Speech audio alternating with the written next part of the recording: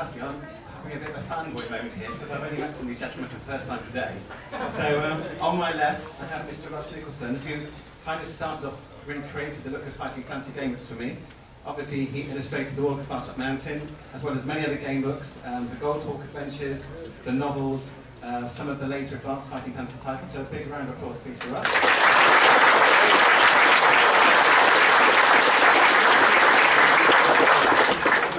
Malcolm With us, who, as you know, illustrated The Forest of Doom with his unique and fantastic penmanship. But what's even better is that he's back with us. He's rejoined the Fighting Fantasy fold and is doing new work for Scriptarium. Is that correct? That's correct. So, big round of applause, please, for.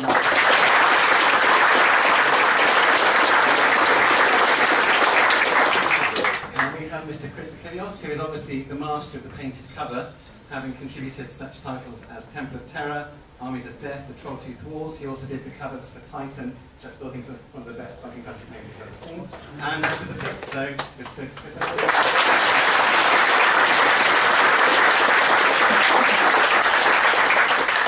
Very pleased to say that Tony Hough is also on the panel today. Um, one of the unsung heroes of Fighting Fantasy. He sort of stuck with it from the Puffin run through to the Icon books. He's obviously illustrated a range of titles, uh, including Spectral Stalkers, Night Dragon, books by me.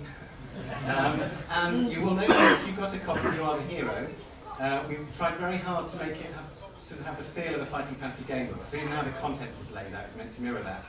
And we have filler pictures, and they were drawn by Tony. So big round of applause, please.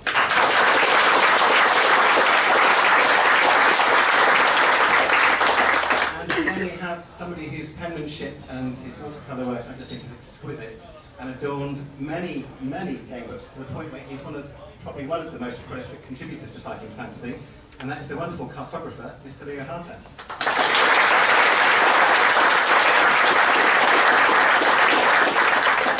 So if I can start with you, Russ.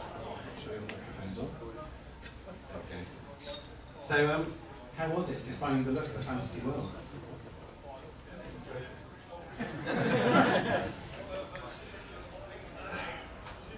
Well, basically, um, it was. I got a series of captions, if you like, which I had to illustrate. Oh, sorry. Can you hear me? right. Okay. Um, Stephen Ian basically got me involved in this, and I tried to uh, put together um, a vision of what they had written. The hardest thing, fun enough actually, was the wizard. Um, because I struggled with the wizard um, originally with the cover, which I then had to give up because I just couldn't nail him, and the deadline for the black and white work was coming up. When I started the black and white work, it came, and that's been the one.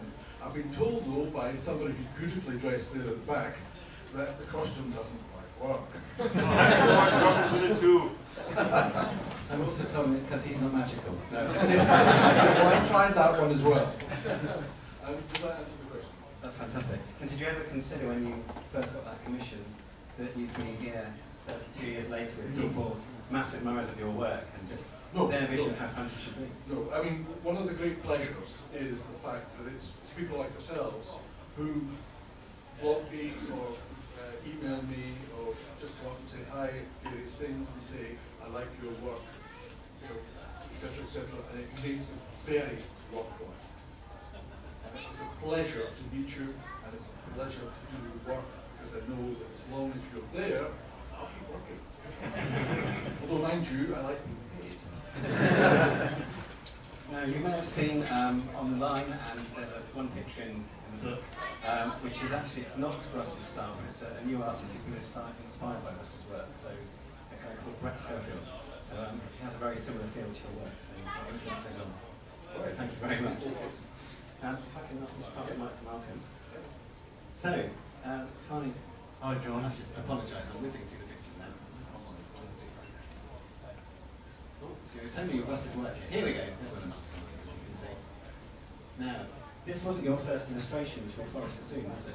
No, that was a sample picture that I had to submit, and I wasn't sure why Russ couldn't do the third book at the time, but he has explained it to me he in New Guinea or somewhere on the other Is it side of the world. Well, the process of selecting the third, uh, another illustrator for the third book, cut into the deadline. Um, um, and it shows. No, no, can I I, know when I've done a crap picture. Don't, don't go there. can I check in there? Martin's actually told me he did all the work for that book in two weeks. Now, that's remarkable.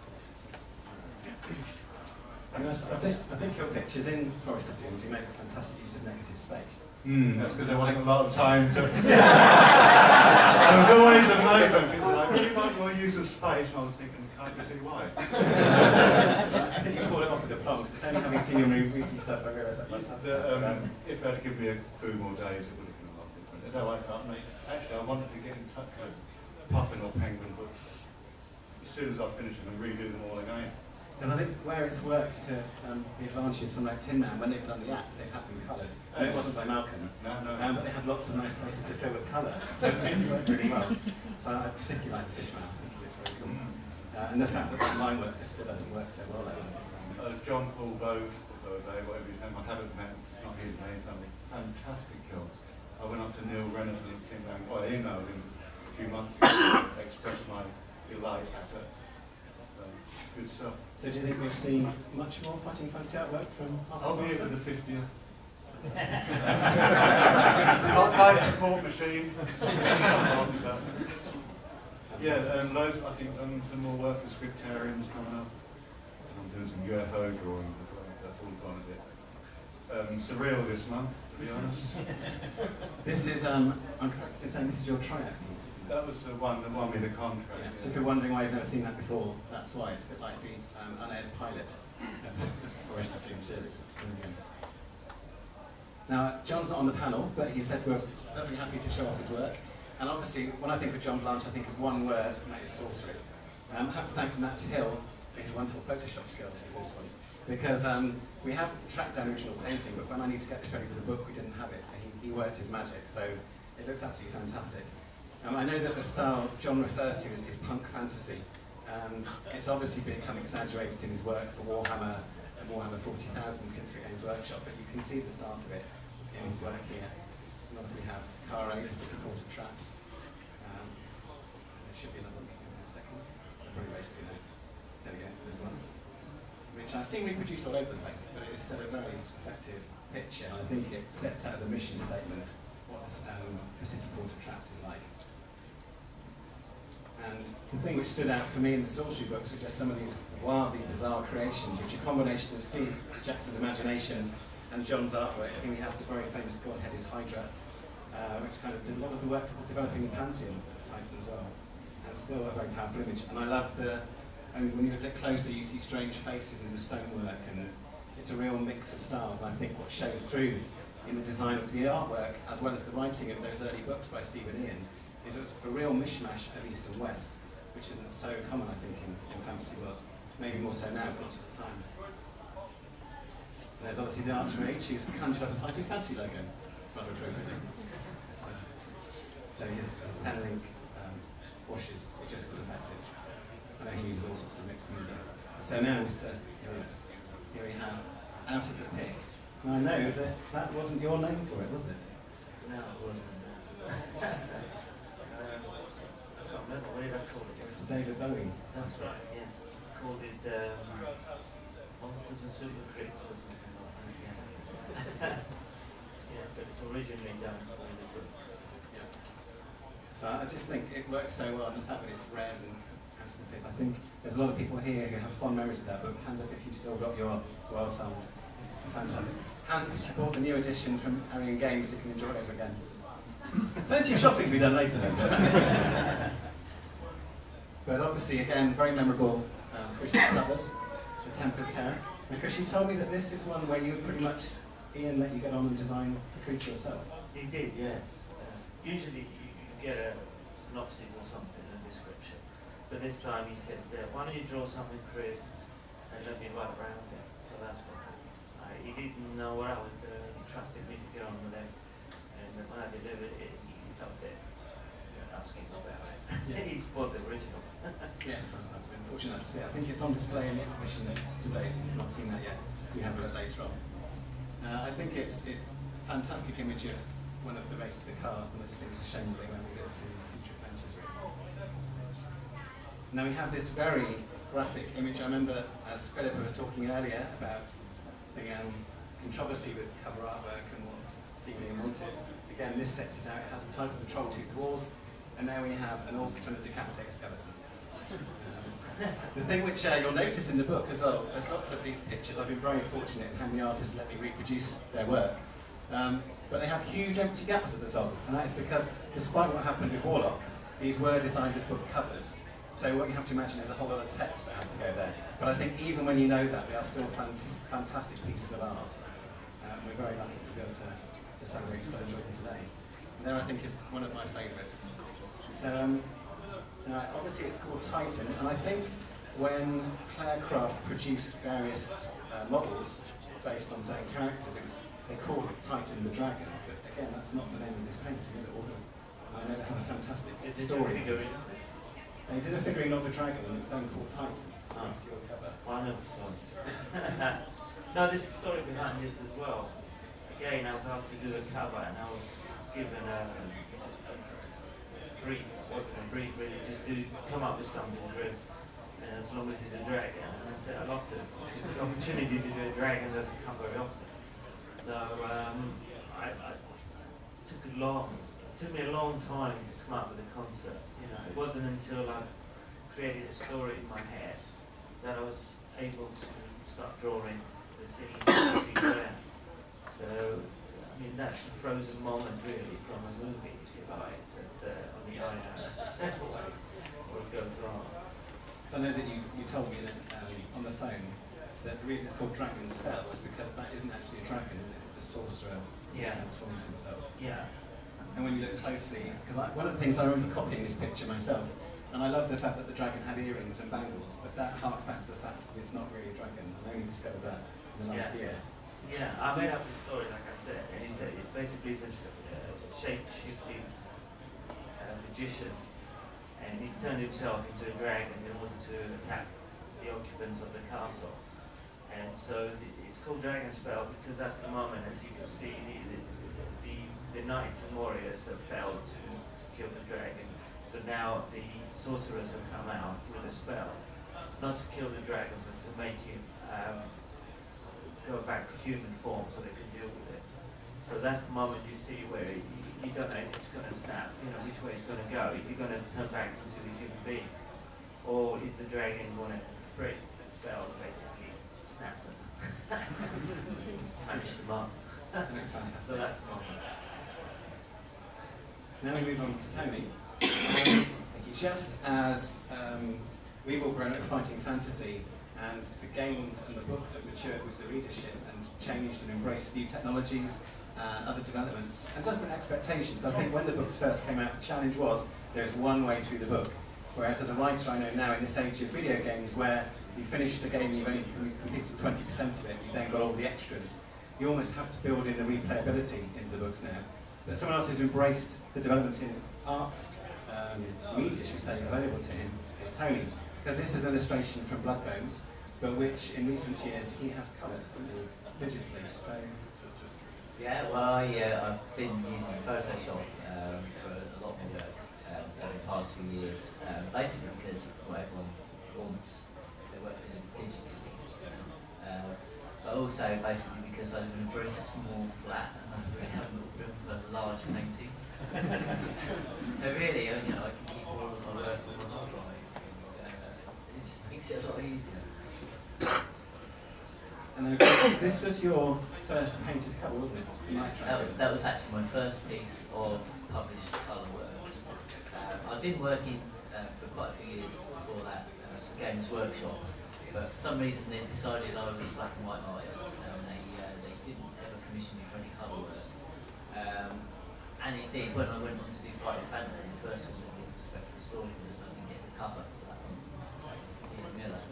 Um, and it wasn't until I managed to corner um, one of the you know, commissioning um, art editors um, at, a, at a puffin uh, celebration of uh, uh, the Fighting Fantasy range um, and showing my samples after we'd had a few sherries.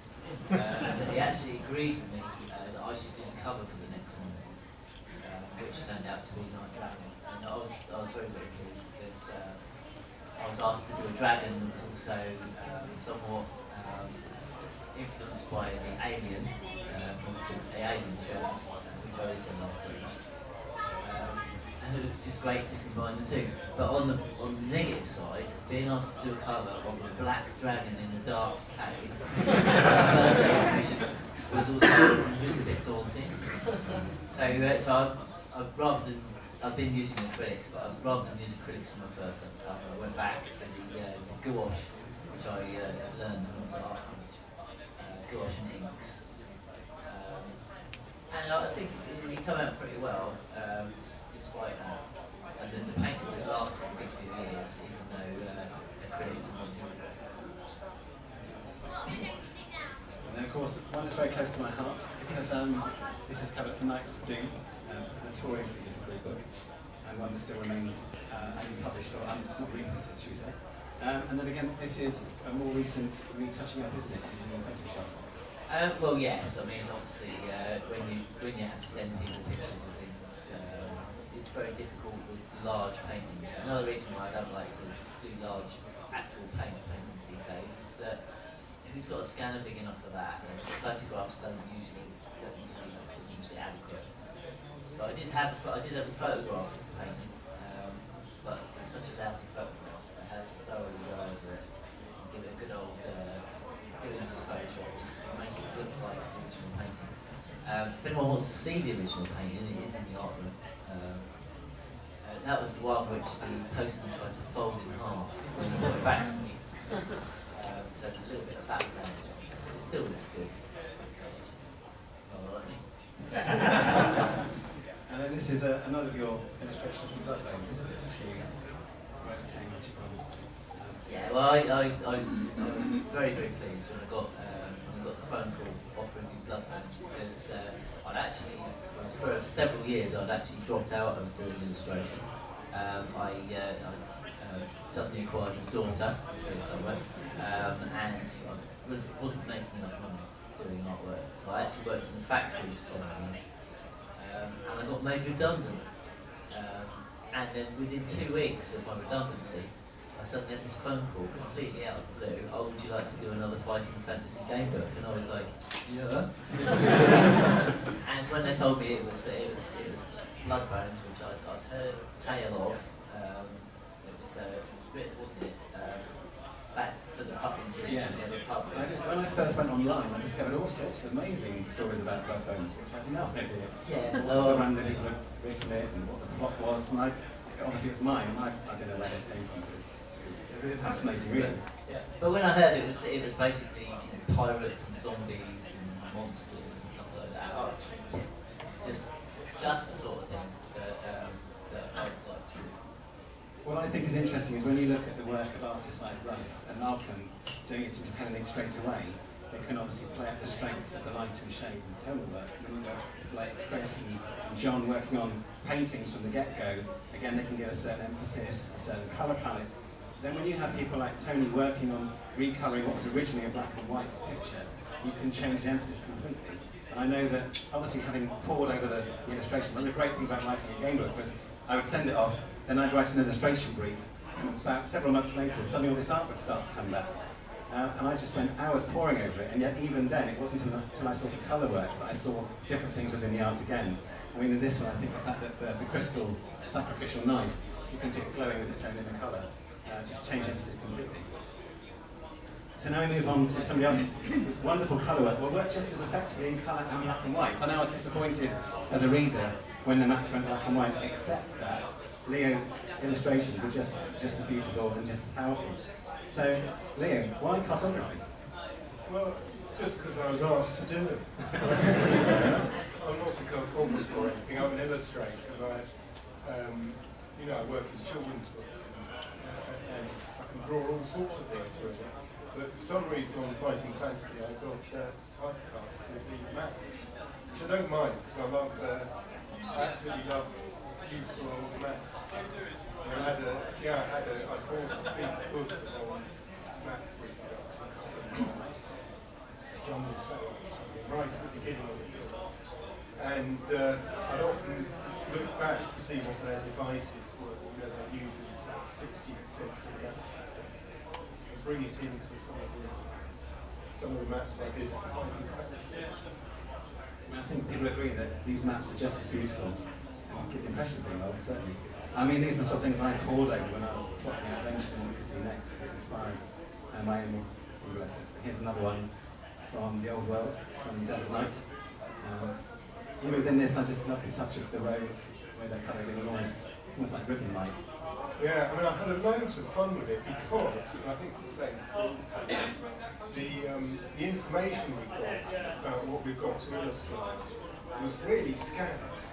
And I think, particularly with the earlier ones, there's no feeling that this was going to be a big, successful series. Um, and, you know, I just get a, a almost as though just a few lines and difficult to read scribble on the back of a, an envelope. And I was just left to my own devices to do that.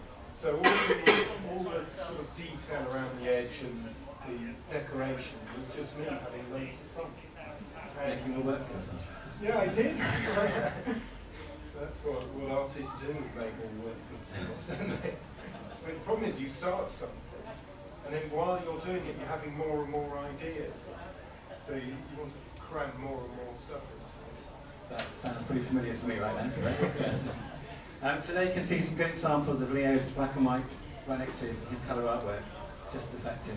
Um, certainly the Black Haven map inspired my own efforts in Blood Bones. Apologies, somebody else didn't get to do that. But um, great work. So I've been very fortunate over the last 18 months or so to be in communication with these guys, to talk to them about their art and how pictures come to be. So I thought, I'm sure that you would have some fantastic questions to ask yourselves. So rather than listen to me drone on all day, does anybody have any questions for any of our artists? Yes, sir. Yeah, re- regarding the, um, the briefs you got for the, for the individual pieces, um, were different authors different in their approach and, and kind of how elaborate those descriptions were and how closely they had to stick to those, and how much leeway did you have in the various, in the various jobs, if you will, kind of bringing your own ideas? Who's feeling brave? Who wants to answer that? Well, as I said before, I, I never got any at all hardly from, from Ian. Usually it was Ian in the early stages, not Steve. He- You know, he's a big fan of fantasy, so he knew what I was doing before, mood colours and things, and he just let me do what I like, basically. So it was, it was great to be able to have that freedom. I don't know about the others. I don't know. We just used to be given a typed manuscript, really, with the highlighted sections in, and considering the deadline I had for the Forest of Doom, I didn't have time to read the book anyway. So all I could do was draw the sort of highlights. And um, Penguin weren't too good at supplying details, you know, some mapping Forest of Doom was a bit lacking in detail. That's all I had to go on. Didn't know what I was drawing at the time, the series hadn't really established itself as far as I was concerned, times literally something, something otherwise is, so it's not the best. But um, I didn't really know what I was drawing at the time until I checked that up. First.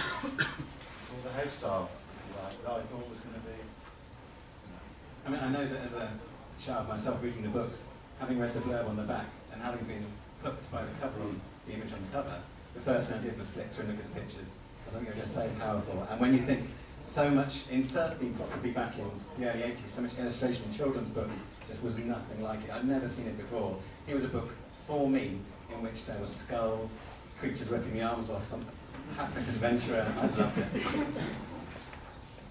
Um, any more questions? Yes.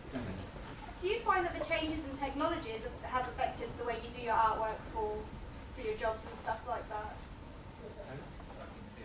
Yeah, I mean, it's made a massive difference to me because uh, one of the one of the things, of course, is that um, we've kind of done away with the idea of having artwork originals because everything's now emailed, um, Yeah. and that means that means I can work with someone in Australia, and I don't have to rely on the post to get my precious artwork safely to them and then safely back again. You don't have to worry about creases on originals. It takes away a lot of the risk. Um, and obviously, if uh, if you do a picture of someone looking to the left, and they get back to you and they say, "Oh, I really him looking to the right," you know, you don't have to start again.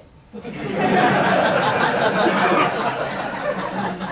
mean, it was, it was a renovation to me. I mean, it was it was only really over the past um, about um, ten years or so that I've really kind of got a computer that can handle doing you know, you know uh, computer painting um, properly, and uh, it's just brilliant. I mean, it just sets you free in a lot of different ways.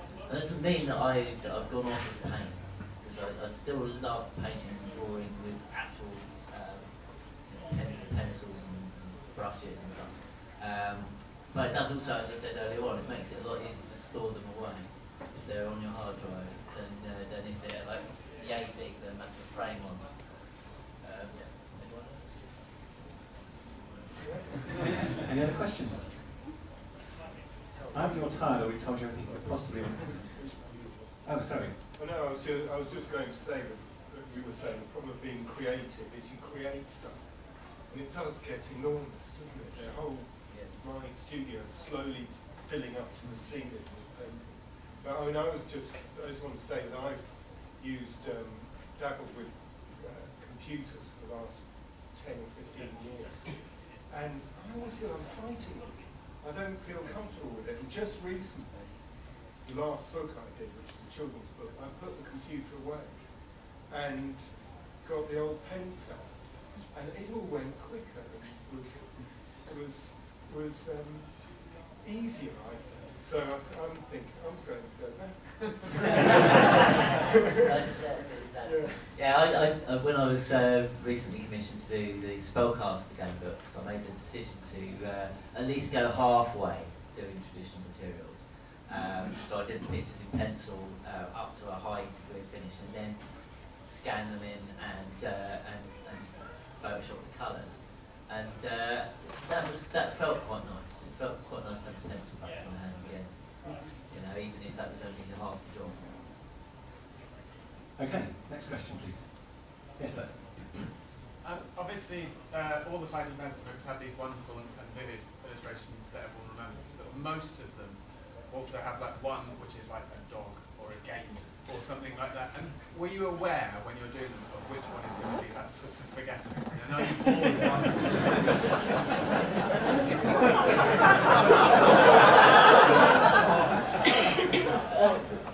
I will say that um, one of the things which I was told for Warren was um, it all got to fit into a room. So I want you to make sure you have got four walls and a roof and a floor. And I went, yes. And then if you look at the book, notice how many times I didn't do But yes, told to draw a door, all you have to do is think to yourself, can I create a new door? I mean, as a writer, uh, what I say now, um, you will notice that the pictures are spaced evenly throughout the book.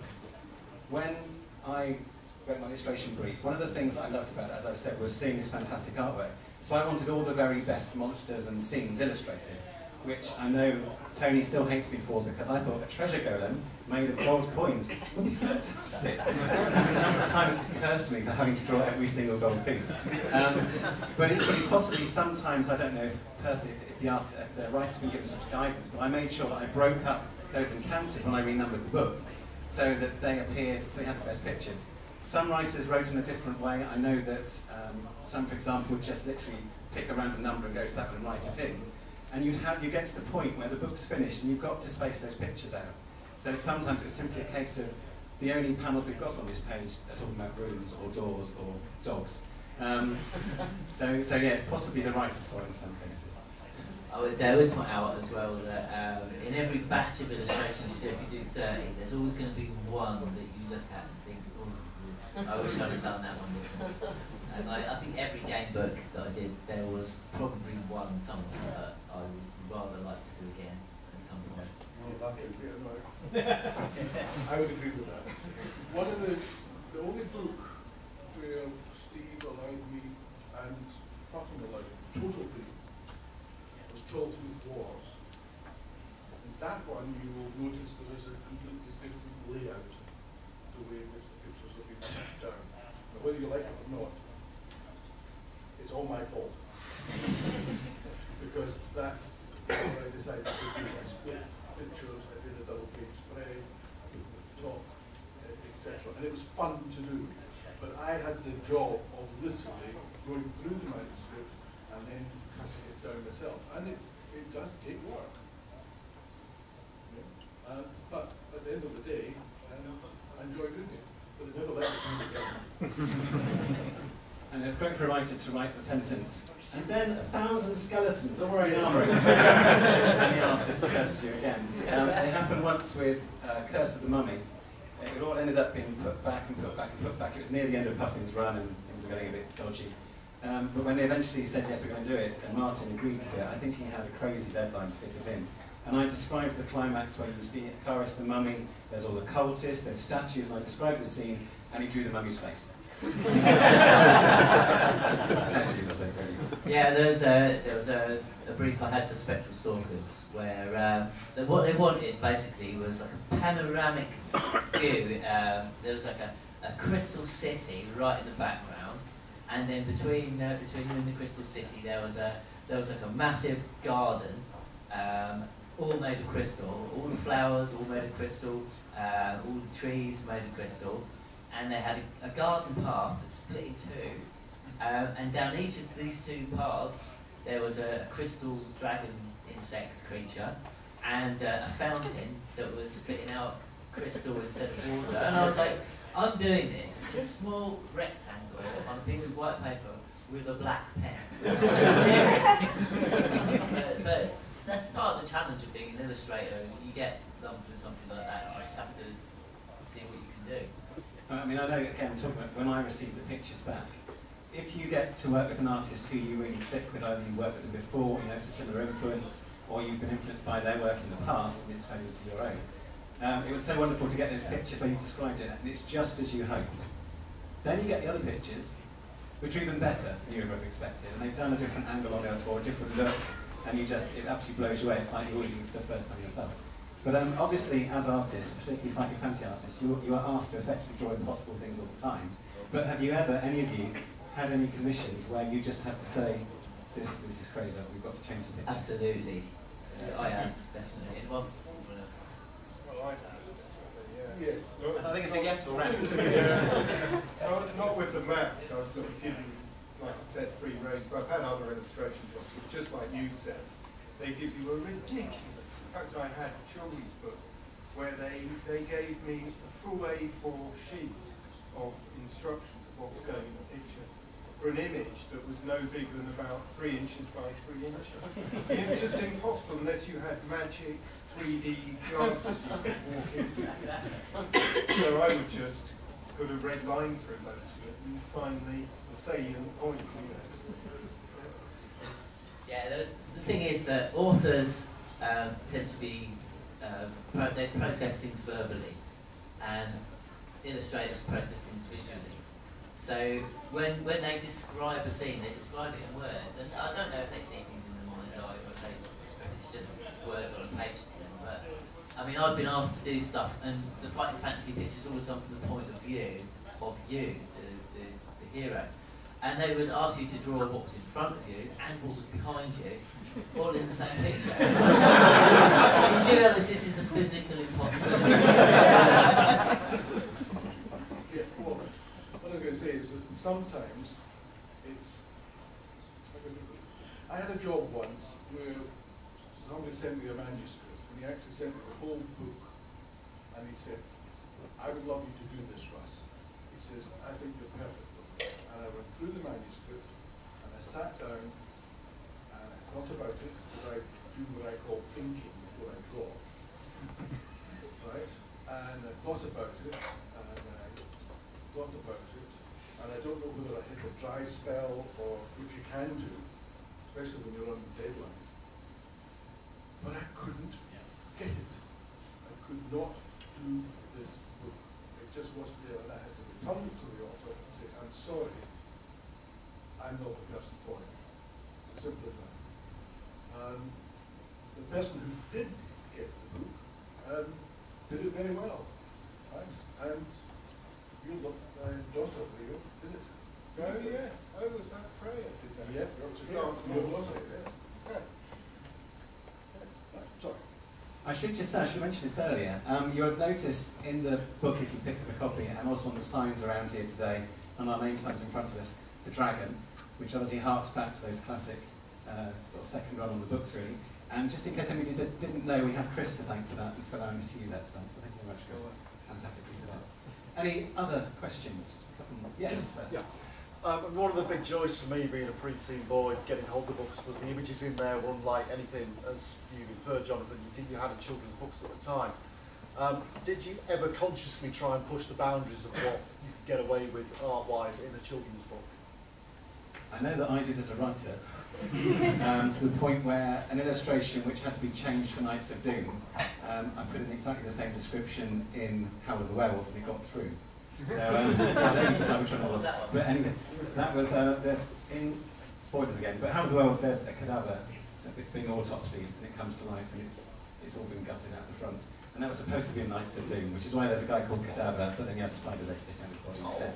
So that was, yeah. I know you would have loved that, wouldn't you? So, any, anybody trying to, Chris, what about you? Uh, I have a lot of experience in that. I used to do the Doctor Who books. Anybody bought those when you were kids? You're familiar with the artworks then. Um, I used to have to do one a month, which is um, regular work for me. So I kept doing them for a long while. But in between them, I was doing other, I thought, more serious work, fantasy work I used to do book covers. So I didn't really take them very seriously, you know. So I used to knock them out, you know. And the formula was the same every time. It's just uh, finding the reference and fitting the drawing. And um, I, I, you can see I got a bit cocky at the time because I just did what I liked. I didn't. I never got a brief or anything. Just told me the story, and I used to go to the BBC library and look for a few pictures, and I just used to get on with it. Well, as I was doing them, I got quite fed up doing the same thing, really. So, um, on one instance, I put, um, I think it was Doctor Who and the Dinosaur Invasion or something, and I put the big word clack on there, like you do in comics, and I delivered that artwork. They usually over the moon about it, but this time they say, oh my God, what have you done, Chris? We can't print this. You have to take that out. And uh, I said, no bloody way, I've got two deadlines coming up on other works, and uh, I'm not touching it. So you can either ask someone else to do it, another one, or print another one. So in the end, they printed it. And let me tell you, I have so many fan letters because of that clash. You know, there you go. It was one of the best sellers ever. And after that, also did another thing I shouldn't do. I left the doctor's head out completely. big head of a monster-like creature on it. And uh, again, they told me also, you know, plays but they had no choice. My, my covers were selling their artworks, basically, their, their books. I was selling thousands. I didn't know that at the time, but they were selling thousands of them, and not just in England, in Canada, New Zealand, Australia, and other foreign editions. And uh, you know, if you read the biography of Tandem books, you, you I mean, I, I didn't read this until recently that he saved them going under the, the uh, Doctor Who range. So I had a lot of, you know, like I said, I just got on with it and didn't give a shit. Any other questions? Probably got time for a couple more, I think. What's about this side of the room? They're very shy. Yes. Yeah, yes, you're going with me. That Yes. picture you got up there, Yes. is that available as a poster or print? 'Cause I want that on my wall. Um, that is one of the rewards, the benefits of backing Kickstarter projects from the start. Um, that was for people, so I know there's a few people who picked this up today. I'd have to talk to Martin about future use of that, but um, I know I was very pleased with that. And obviously, it features a lot of characters really designed by these guys, because Martin, uh, we're not dissimilar in age, and uh, he started off working very young for illustrating fighting fantasy books, but again, he was inspired by those same, I know the Doctor Who work that you did. and Hammer horror movies and all sorts of things. So what's quite fun is if you've got a spare two hours, um, is wandering, having a look at all the different images, all the different creatures in there. They're not, they didn't all fit on this image you can see on here, but on the actual picture. Um, including right into the detail in the background, because again, I know that uh, Martin did the first roughs in pencil, but then he reworked it in Photoshop, so you can just zoom in and in and in and in. So there's all sorts of detail in there. One last question. Make a good one, impression. Yes, sir. Uh, as artists, are you tempted to sort of sneak in cameos of yourself or members of your family? Oh. or you, you dislike that? It's a bone of contention. I, I actually am in some of my pictures. Um, there, there was one. I think um, was it in was it in Knights of Doom or was it in uh, Night Dragon? I can't remember. There was a there was a, a beast man holding a, um, a wheel. an axle. Yeah, That's an Knights axle. Yeah, yeah. and uh, my head is one of the heads he's got. Uh, along with my my best friend Anna Vicker as well. Um, but yeah, I, I don't like don't like putting people in pictures because uh, some people like it, and then, but then some people will never will never say, "Oh, I didn't like my picture." Uh, some are best of all you know. Well, I know that the cameos have become a bit of a thing when you, uh, it's covered in the book, but Stephen Ian certainly appeared in a fair few pictures. But um, any of the rest of you drawn yourselves? For me, ex-girlfriend I didn't like. in the Forest of Doom, there's a, uh, I think it's an old hag reading the book. When you open the word mags written in a script page. He was doing my head in it. now I can tell it. You've never seen it, I've never told you. Too much of a gentleman Martin, you haven't seen it but today!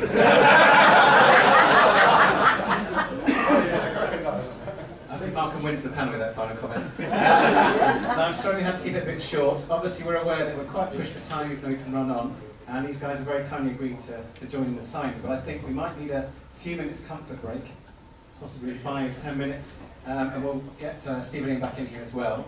But just for now, can you give a huge round of applause for...